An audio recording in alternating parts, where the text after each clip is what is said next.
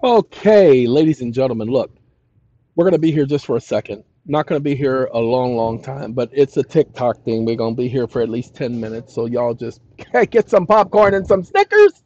Okay, guess what, y'all? I just did a three hour consult again. Now, hold on now. There are some people who talk about $550 for a consult.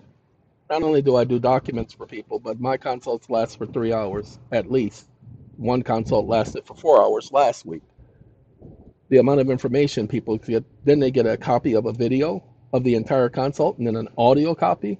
Please, you find somebody out there who does documents. Okay, you find somebody out there who is going to sit up there and take three hours with you for consults. So find no, no, hold on, hold on, just so that you get it.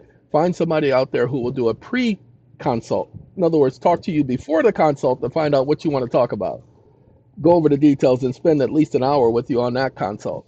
So don't nobody complain to me about me saying you're paying for my time. You're not paying for a consult. You're paying for me to step away from the other things that I get to do. And the fact that some people, I haven't met too many people who didn't appreciate. Now, the people who complained, there's been at least three so far. One of them, a lady who I did the pre consult with, she got the information she wanted in the pre consult, and then she just canceled everything and requested a refund. Not because she wasn't satisfied, she got her answer. She Don't need no consult. He told me everything. I can get everything else off his videos. It's her attitude. Yeah, I deal with people like that. Not many, not with the consults. That was the only one. That will never happen again.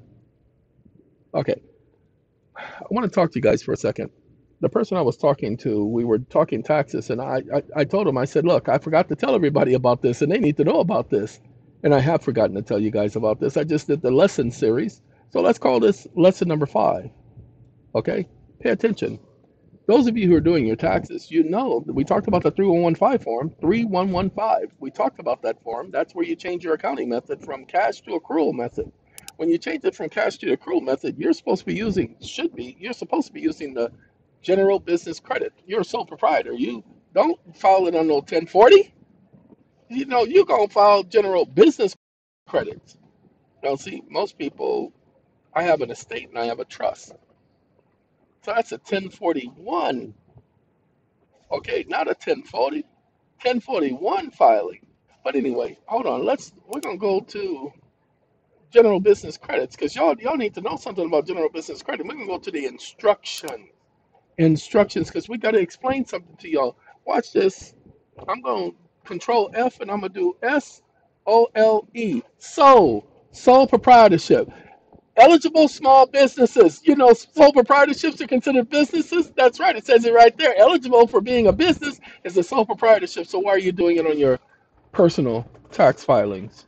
That's for individuals. Individuals are not businesses.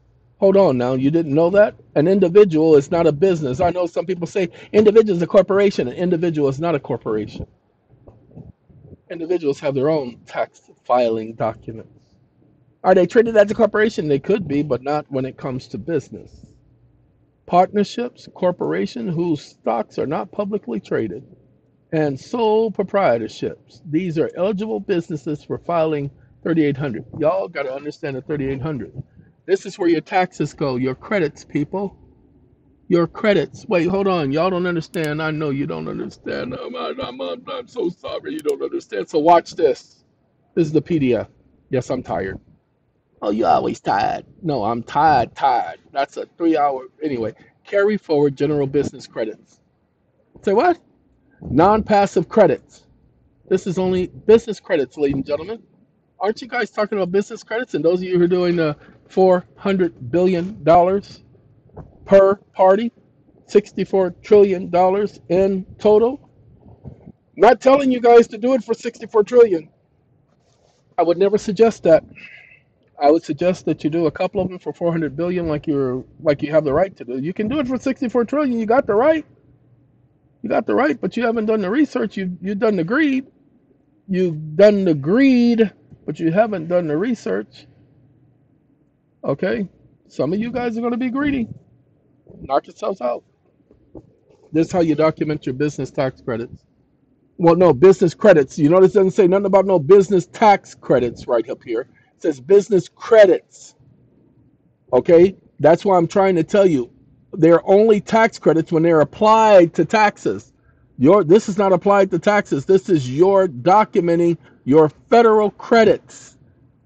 Business credits and tax credits are not synonymous. They don't mean the same thing. Don't let nobody tell you that they are because they'll be lying to you. Because if they were, now look, corporations also fill out the 1120 form. Hold on, corporations also fill out the 1120 form. There are certain forms that are necessary. Now it says individuals entering the sum amount on the 1040 and the 1040 SR and the 1040 ER, line 16 and schedule 2. So it says individuals can fill this out, but that's not the way it's supposed to go. Okay, because individuals don't get the benefit of filling this out. Huh? Individuals don't get the full benefit of filling this out. This corporations get the full benefit. So I'm I'm sorry. Oh, and estates and trusts. You see, I have an estate and a trust, and that's who I'm filing for. Yeah, what you fighting for? Anyway, there you go. All right, ladies and gentlemen, we definitely wanted to show you this. Now, again, we'll do this last thing. Bills of exchange. Stop letting them tell you that your bills of exchange are junk. When you do a bill of exchange and you send it to the campus, it's called the campus support for settling the account through Fedwire, usually Ogden, Utah, one of them places. You want them to settle the account through Fedwire. If that goes directly to the treasurer, then you know it's got to be some weight because guess what? It is shipped overnight when you send it. You don't send it overnight. They send it overnight to the treasurer's office.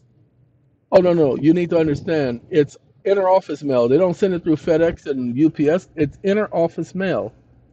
All right. So again, credits. Business credits are business credits, people. Go for your business credits. Document your business credits. 1099-C and the K1 are not the same thing. So when you're documenting one, you're adding what's on one and you're adding what's on the other to your business credit tax form. I am so glad we had the opportunity to talk about this. Look, I gotta go. As you can hear my voice cracking, yeah, that's stress and that's fatigue. So it's time for me to go crash because I'm about to go crash, dude. And we will speak to y'all at another time. Take care, y'all. Gotta go, gotta go, gotta go, go, go.